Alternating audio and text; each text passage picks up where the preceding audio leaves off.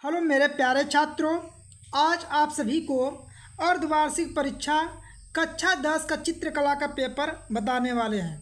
ये जितने भी प्रश्न बताएँगे, आप सभी इसको तैयार कर लीजिएगा।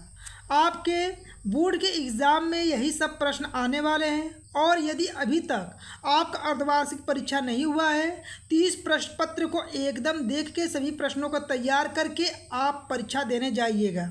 तो चलिए वीडियो स्टार्ट करते हैं। देखिए, आपका जो चित्रकला का पेपर होगा, टोटल कितने नंबर का रहेगा? सत्तर नंबर का प्रश्न रहता है और समय मिलेगा आपको दो घंटा तीन मिनट का। लेकिन आपका बोर्ड का एग्ज़ाम होगा तो वहाँ पे तीन घंटा पंद्रह मिनट का समय मिलता है। कितना मिलता है? तीन घंटा पंद्रह मिनट का समय मिलता है, आप सभी को पता होगा। अब देखिए, यहाँ पे कुछ नोट दिए गए। इसी तरह आपके बोर्ड के एग्ज़ाम में आपको नोट लिखा मिलेगा, निर्देशा, निर्देश लिखा मिलेगा तो उसको आप ध्यान से पढ़ के ही प्र, हल कीजिएगा। देखिए प्रश्न पत्र क, ख, ग तीन खंडों में विभक्त है। सभी खंड को करना अनिवार्य है। खंड क को ओ एम आर पर हल करना है। ये ओ एम आर सीट आपको बोर्ड के एग्ज़ाम में मिलेगा। यहाँ पे देखिए, खंड क के सभी प्रश्नों को आपको बताते हैं। सभी प्रश्नों को आप ज़रूर देखिए और सभी प्रश्नों को आप लिख लीजिए। ये सभी प्रश्न ऐसे प्रश्न हैं जो आपके बोर्ड के एग्ज़ाम जो 2024 में हुआ था, यही सब प्रश्न पूछे गए थे। मैक्सिमम प्रश्न आपके बोर्ड के एग्ज़ाम में पूछा गया प्रश्न ही है। ठीक है? यहाँ पे देखिए, आपका प्रश्न स्टार्ट होता है कि निम्नलिखित बहुविकल्पी प्रश्नों के चार विकल्पों से एक सही उत्तर का चुनना है, यानी कि एक सही आपको विकल्प सही होगा उसी का आंसर आपको देना है। जिस भी प्रश्न का आंसर आपको पहले से आ रहा हो, आप कमेंट बॉक्स में लिख सकते हैं कि इस प्रश्न का ये आंसर होगा। यहाँ पे सभी प्रश्नों के बारे में आप सभी को बताते हैं और सभी प्रश्नों को आप एक जगह लिखिए और सभी प्रश्नों को आप ज़रूर याद कर लीजिए। ठीक है? देखिए, पहला प्रश्न यह है कि वर्ण का अर्थ है, ये बोर्ड एग्ज़ाम 2024 में पूछा गया प्रश्न है। आप पिछले साल के प्रश्नों को देख लीजिए, आपको उसमें ये प्रश्न देखने के लिए मिल जाएगा। तो आपको यहाँ पे गारंटी देते हैं कि जो मैक्सिमम जो क्वेश्चन आपको या अर्धवार्षिक परीक्षा में पूछा गया है, ये मैक्सिमम जो क्वेश्चन है आपके बोर्ड के एग्ज़ाम में पूछा गया प्रश्न ही है। इसीलिए इन सभी प्रश्नों को आप ज़रूर एक जगह लिख के ज़रूर याद कर लीजिए। देखिए, आपका ऑप्शन है, ध्वनि होगा, चित्र होगा, रंग होगा, साफ़ रंग होगा। तो वर्ण का मतलब होता है देखिए एक तो वर्ण वर्ण होता है कौखा का जो अक्षर आप पढ़ते हैं, वो होता है। एक होता है, वर्ण का मतलब यहाँ रंग होता है, ठीक है? तो यहाँ पे इसका सही जवाब क्या होगा? तीसरा वाला ऑप्शन सही होगा कि वर्ण का अर्थ क्या होता है तो वर्ण का अर्थ रंग होता है, ठीक है? यहाँ पे देखिए, अगला प्रश्न देखिए। ये आपके बोर्ड के एग्ज़ाम में एकदम सेम टू सेम यही प्रश्न पूछा गया था, क्या पूछा गया था? कि प्राथमिक अथवा मुख्य रंग कौन सा होता है? तो इसे जानते रहिएगा, प्राथमिक रंग पूछे, चाहे मुख्य रंग आपसे पूछे, कि प्राथमिक रंग या मुख्य रंग कौन कौन सा होता है? तो याद रखिएगा, ये आपका जो नाम बता इसे ज़रूर याद रखिएगा, लाल, पीला, ठीक है, और नीला। ये जो होता है, आपके प्राथमिक रंग होते हैं, ठीक है? तो यहाँ पे ऑप्शन देखिए ऑप्शन में देखेंगे तो आपका तीसरा वाला सही हो जाएगा कि प्राथमिक अथवा मुख्य रंग कौन कौन से हैं? तो लाल है, पीला है, नीला है, ये प्राथमिक रंग के अंतर्गत आ जाते हैं। अगला देखिए, आलेखन कितने प्रकार के होते हैं? आलेखन के बारे में आप ज़रूर याद रखिएगा कि आलेखन जो आपके प्रकार होते हैं टोटल चार प्रकार के आलेखन होते हैं तो इससे डायरेक्ट याद रखिएगा, आलेखन के प्रकार में चार प्रकार होते हैं।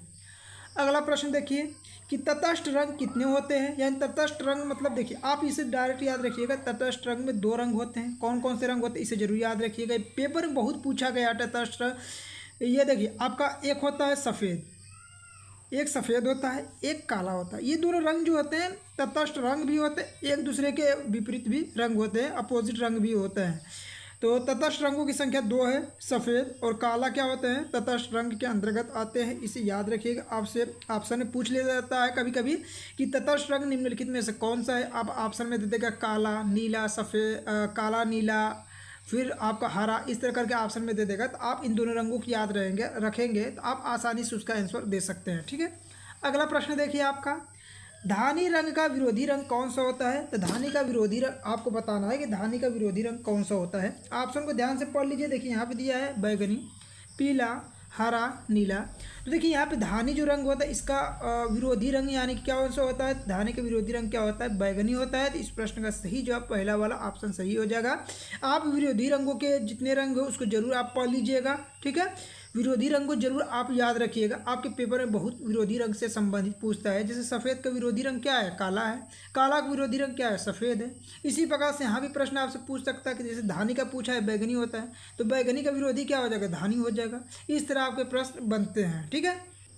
देखिए, अगला प्रश्न क्या है आपका? कि वाट मैन पेपर का प्रयोग किस माध्यम में होता है? तो देखिए, यह जल माध्यम, तेल माध्यम, टेम्परा माध्यम या चूड़ित माध्यम। तो वाटमैन जो पेपर होता है, इसका प्रयोग जो होता है, टेम्परा माध्यम में होता है तो इसका सही जवाब, तीसरा वाला सही हो जाएगा। अगला देखिए, एलिफेंटा की गुफा कहाँ स्थित है? तो जो एलिफेंटा की गुफा है, ये आपका महाराष्ट्र में स्थित है तो इसका सही जवाब क्या हो जाएगा? पहला हो जाएगा कि एलिफेंटा की जो गुफाएँ होती है, कहाँ पे है? तो महाराष्ट्र में। इसको ज़रूर याद रखिएगा। अगला प्रश्न देखिए देखिए आपसे पूछ लिया। पीला का विरोधी रंग क्या होता है अभी बताए थे सफ़ेद का विरोधी रंग काला काला का विरोधी रंग सफ़ेद और इसके अलावा धानी का विरोधी रंग क्या बताएँ अभी धानी का विरोधी रंग जो बताए आपको बैगनी बताए हैं ठीक है तो धानी का विरोधी रंग बैगनी या बैगनी का विरोधी रंग धानी होता है ठीक है इसी तरह पीला का विरोधी रंग क्या होता है ऑप्शन में दिया है कि लाल होगा आपका ठीक है नीला होगा हरा होगा या भूरा होगा तो यहाँ पे पीला का विरोधी रंग आप याद रखिएगा नीला होता है पीलो पीला का विरोधी रंग क्या होता है नीला होता है इस ज़रूर याद रखिए अगला देखिए।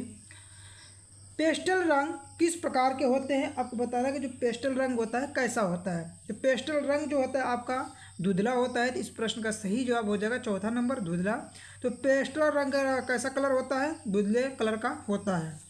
अगला प्रश्न देखिए। चित्र में प्राण किससे आता है? मतलब चित्र में जो आपका आकर्षण होता है ना, क्या उसमें आप करेंगे? जिससे चित्र जो आपका बने वह आकर्षण टाइप हो। उसमें लय होना चाहिए। रंग सही से भरना, उचित भरें और रेखाएँ जो है आप स्पष्ट रूप से खींचें। ये सभी गुण उसमें होना चाहिए। तो चित्र में प्रा किससे आता है? तो रंग से, रेखा से, लय से, इन सभी से चित्र में क्या होता है? आपका प्राण आते हैं। ठीक है? देखिए, जैसे यहाँ पे आपका अगला प्रश्न है कि ओस्टवाल्ड चक्र के अनुसार समुद्र हरा रंग का विरोधी रंग, यानी नंबर तो यहाँ से प्रश्न याद रखिए बोर्ड के एग्ज़ाम में यही पूछा था ओस्टवाल्ड चक्र में टोटल कितने रंग होते हैं? टोटल आठ रंग होते हैं। ओस्टवाल्ड में कितने होते हैं? आठ। इसके अलावा इंद्रधनुष में आपसे पूछता है कि इंद्रधनुष जो होता है ना, इंद्रधनुष में टोटल कितने रंग होते हैं? इंद्रधनुष में टोटल सात रंग होते हैं। ये दोनों प्रश्नों को ज़रूर याद रखिएगा। यहाँ पे पूछा है कि जो ओस्टवाल्ड चक्र होता है, उसमें जो समुद्र का जो हरा रंग है, उसका विरोधी रंग कौन सा होता है? तो देखिए, यहाँ पे धानी दिया है, लाल दिया है, पीला दिया है, बैगनी दिया है। तो यहाँ पे ओस्टवाल के अनुसार देखेंगे तो इसका सही जवाब क्या हो जाएगा? धानी हो जाएगा। तो इस प्रश्न का सही जवाब, ए वाला ऑप्शन सही हो जाएगा। अगला प्रश्न आप देखिए, ध्यान से यहाँ पे क्या है अगला प्रश्न आपका?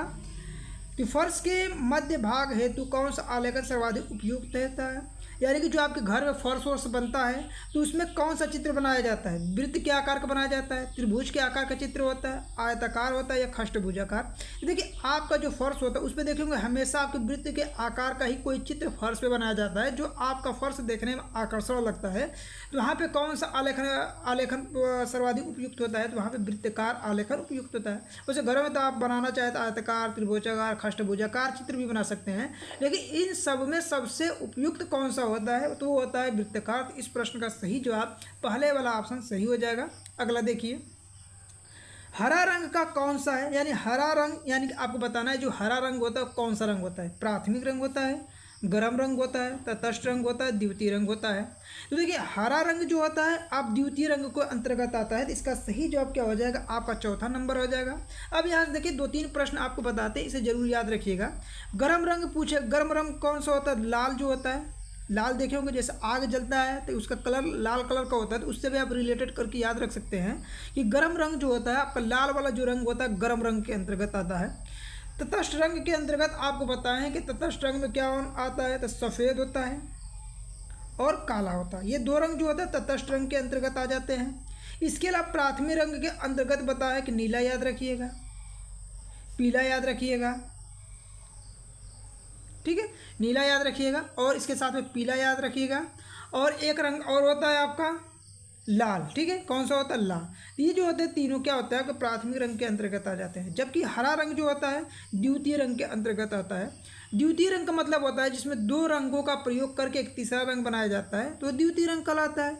ये सभी जो ऑप्शन बताए, सभी ऑप्शनों को आप ज़रूर ध्यान दीजिएगा, ठीक है? अगला देखिए चौदह नंबर का।